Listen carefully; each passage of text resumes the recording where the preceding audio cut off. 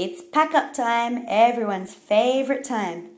Please make sure all the invertebrates are back happy in their homes. Please place all the equipment back in the same way that you found it. Then you're right and ready for the next task. Well done and good luck.